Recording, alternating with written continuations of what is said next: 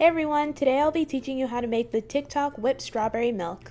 The last time I made whipped coffee, but most of you guys say you didn't drink coffee, so here's a solution. Alright, let's get started with the video. In a bowl or cup, add 1 tablespoon of strawberry Nesquik.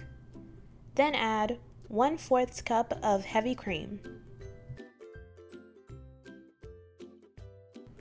Whip everything together until you can form soft peaks. To do this, I'm using an immersion blender, but you can always just use a regular whisk or a hand mixer.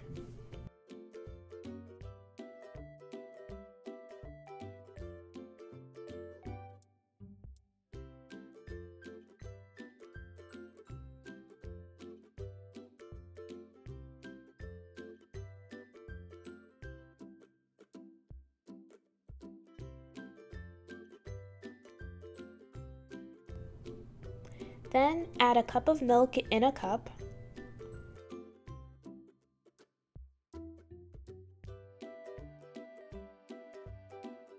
After that, add your whipped strawberry milk on top. Okay, so you're gonna wanna whip it until it has soft peaks. I whipped mine until it had stiff peaks, which is not what you're supposed to do, but it's fine because it still came out well. Oh, and I made some more for decoration, but I added some pink food coloring to it.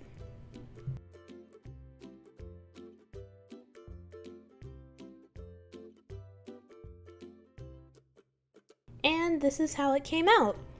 It's a really quick and adorable drink. I decorated it by just adding some sprinkles and a strawberry on the side, but I think it came out really cute. The whipped strawberry is really good, like I kept eating it while I was making it. Alright, that's it for this video. Thank you guys so much for watching. Don't forget to like, comment, and subscribe. Bye!